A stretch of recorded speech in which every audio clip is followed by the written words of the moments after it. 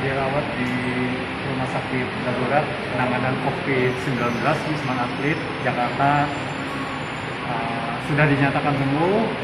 Saya dirawat masuk ke sini tanggal 29 April hari Rabu dan sekarang tanggal 6 Mei uh, sudah dinyatakan saya uh, sudah dinyatakan sembuh. Saya dirawat di Rumah Sakit Darurat Penanganan COVID-19 Wisma Atlet Kemayoran Jakarta. Saya masuk tanggal 29 April dan keluar sekarang pulang tanggal 6 Mei uh, dua kali swab dan hasilnya negatif. Pelayanan di Rumah Sakit Darurat luar biasa. Uh, dokter, perawat, dan tim konseling semuanya sangat profesional, tabah, tegar menghadapi uh, keluhan pasien yang beraneka ragam stok dan karakternya.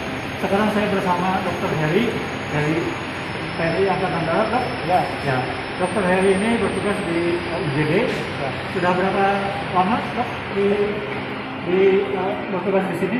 Eh, saya sudah bertugas selama dua minggu dok. Dua minggu, dok. Oh, berarti sudah dua minggu tidak bertemu keluarga ya, dok ya? Eh, ya, kurang lebih itu pak. Berarti ada kerinduan kepada uh, keluarga. Ya, Selama ini ketemu dengan keluarga melalui apa dok, komunikasinya? Untuk sementara kami kan di sini dibatasi pak untuk komunikasi di luar juga terbatas. Ya. Nah, jadi eh, untuk komunikasi sekarang dengan keluarga atau orang terdekat kita menggunakan video call atau telepon. Gitu. Untuk bertemu langsung kami tidak bisa. Tidak bisa ya, Pak ya?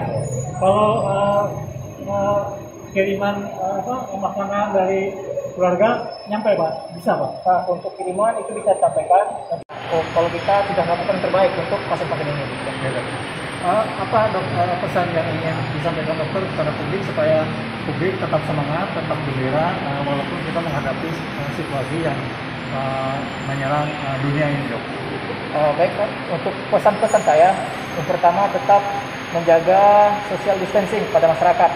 Nah, kita batasi pencemaran dari eh, virus corona ini dengan menjaga jarak, baik itu dengan menggunakan pelindung diri, terutama untuk, untuk masker.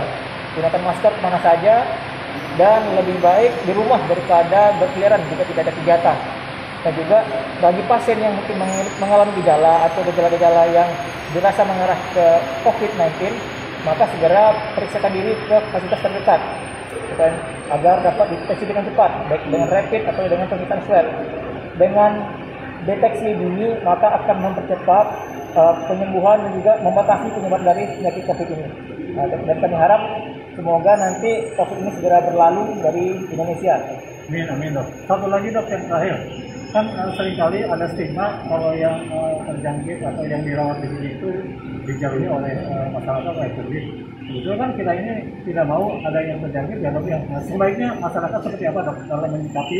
Tidak boleh masuk dalam tetap yang masuk dalam itu dengan akses terbatas iya. gitu, Pak. Bagaimana pesan dokter Heli menangani uh, pasien uh, corona di sisi ini dok? Ya, Bapak, eh, untuk ini eh, yang jelas sebagai tenaga medis kami mensupport eh, semua pasien. Itu kita ingin proyeknya segera, segera habis, Pak. Nah, segera habis. Jadi eh, selain kita memberikan bantuan, kemudian juga motivasi kepada pasien juga selain terapi-terapi, nah, tentu juga memberikan semangat untuk mempercepat penyembuhan pasien.